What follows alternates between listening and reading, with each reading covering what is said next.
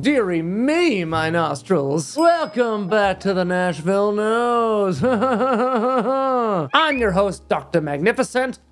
Yes. Today, we're digging deep and fully excavating fragrance history. Because today we're going to review the legendary Shalimar by Guerlain, one of the longest running, if not the longest running fragrance still in production today. Composed by Jacques Guerlain, the third generation family perfumer, and released in 1921, only problem is they couldn't use the name at the time. There was another fragrance already called Shalimar, so they had to call it Number 90 until 1925 when a legal dispute over the name was finally settled. And I say thank God, because Shalimar's a way cooler name than Number 90. During the 1920s, it was really popular amongst the flappers, as they were called, which ended up giving it this bad girl appeal. Amazing how this fragrance has survived so many generations, transcending all the trends of time. It must be something special. I heard Zhao Lima talking it up a lot on his Scented Moments channel, and I feel like he and I have a pretty similar taste. And his, among several other opinions, are all pretty aligned, claiming that although it is a women's marketed fragrance,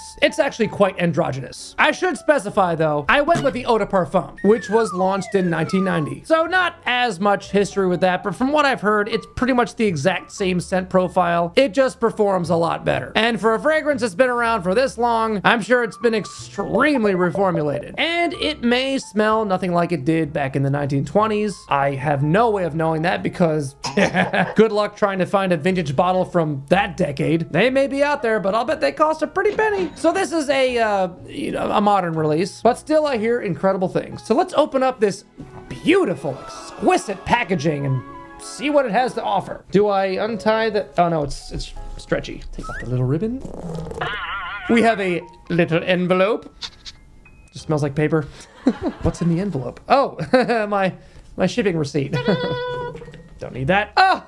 And a cute little card with compliments of Guerlain Paris. Aww. Yeah, they could have signed it. I mean, that would have been nice. Well, we can't be choosy. All right, here is the box. Oh, and also there's no shrink wrap, but I, I, promise you I'm not cheating. This is a brand new unopened box. Oh, it's got the cute little B logo in the middle. Can you see that? Can, can, can, you see it? It's it's embossed there in the middle, just kind of sticking up. Guerlain Paris written in gold. And let's see how it opens. Oh, okay. Yeah, it's a uh, Oh, okay. Wrapped in a little blanket. Ooh, I, I don't want to rip it. I'm just gonna slide it out real quick here. Feels like Christmas. And I'm not gonna let this box explode today. It's nice. Oh, what is in here? What is that? It comes with a little pouch. What did I get? What did I get? I ordered it directly from Guerlain, so let's see what goodies they hooked me up with. Oh, cool. We have a sample of cherry oud. Kind of sounds like something I'd be into. And uh, the very difficult to pronounce Abeille Royale? No idea. But I will sample that on a later date. What's that? Oh, what the hell is this? Oh, and I got a uh, renew and repair advanced serum sample. How did they know I needed that? Love the cute little pouch. All right, let's take it out of its papery little uh, sleeping bag. Oh, there it is. When I think about whoever's responsible for this packaging, I just picture Rowan Atkinson in Love Actually.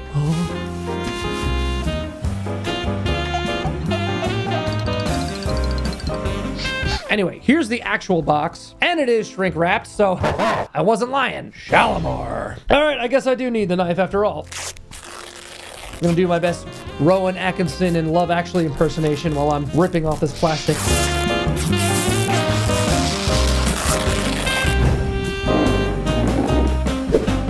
Stupid. this is so much more than a bag. All right, let's check out the very fancy bottle. Ah, I guess I could blow up this box. Let's go yeah. Oh, that never gets old. There she is. Really fancy, schmancy bottle. Snazzy. Look at the cute little neckerchief. The bottle design is said to be modeled after garden basins and Mongolian stupa art. And the blue fan-shaped bottle topper, inspired by a piece of silverware from the Guerlain family. And I imagine when it first came out, it was made of crystal, but now I believe the bottle is just glass and the cap is plastic. Oh well, modern times, what you gonna do? And the atomizer has the Guerlain logo right on the top there. Regardless of its modern corner corner-cutting, cost-saving materials, it's still an impressive looking presentation. All right, that's enough presentation. Time to diagnose. The doctor is now in. Shalimar. It's just fun to say. Shalimar. Mm. Hmm. Ooh, it's making the air smell so nice. Let it settle. Oh, oh man, this uh, open is really citrus heavy. Like, I'm, I'm talking like lemons. I'm getting lemons here. The open is nice though. It's not overly feminine or overly floral, but it has feminine qualities to it. I mean, it just smells good. That's why it survived so many years. I can see why. Oh man, this opening is really good. Oh. This is so delightful. I can picture anybody liking this, whether you prefer more masculine or feminine scents. Although, if I were to place this on the spectrum, I would say it's center feminine leaning. Like it leans feminine, but it's really right down the middle. It's really gender neutral. Now, I'm I'm kind of shocked at this. When I saw the bottle presentation, I was expecting something kind of old-timey smelling, more heavily floral. No, this one just seems to be really citrus and kind of green, at least in the open. Starting to settle in, and it's starting to sweeten up slightly, almost adopting kind of a powdery nature to it. Doesn't smell like a powdery iris though. My God, that's nice. That's really nice. I mean, who knows if it used to be more floral. I wouldn't be surprised if they tweaked the formula with the times to stay relevant, because it does have kind of a modern twist.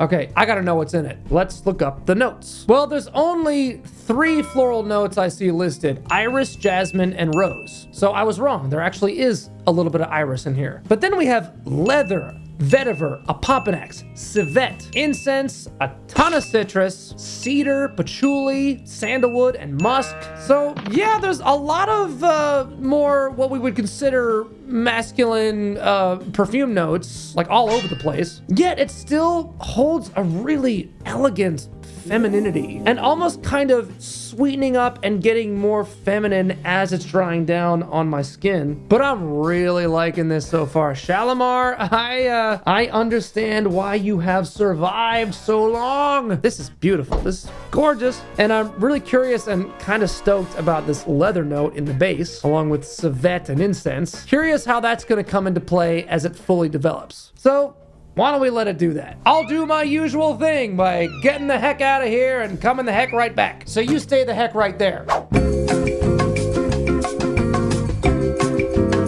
I'm back.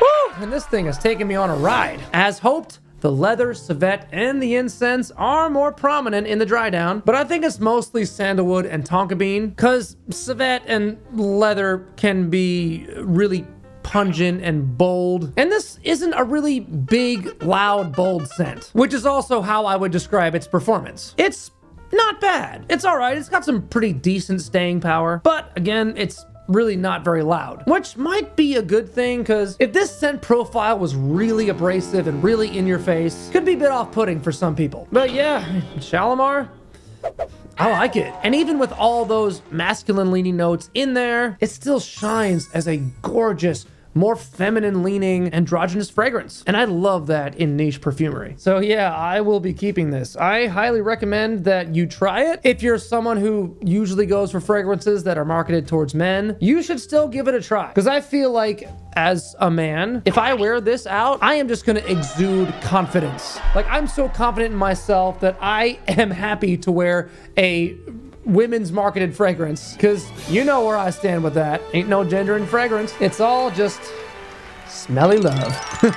it's really making me want to try the original Eau de Toilette because Shalimar has really sparked my curiosity. And did I spark your curiosity enough to want to subscribe? Are you curious to see what else I have to offer? Because I got more, way more. I'm not stopping. Won't you come with me? And after you subscribe, if you could be so kind to give us a like and ring the bell, maybe the algorithm gods will help this channel live on for another hundred years. I'll keep hosting from the grave. Spread the word, y'all! Share me with your friends, your family, spread us all over your socials. And as always, Leave me a comment. Have you tried Shalimar? Do you like more feminine leaning scent profiles? Let's get the conversation going because you know this is not a fragrance channel. Don't be scared. It's okay. It's a community. Hello? And it's my time to flap on out of here. Stay smelly, my darling nostrils. The doctor is out.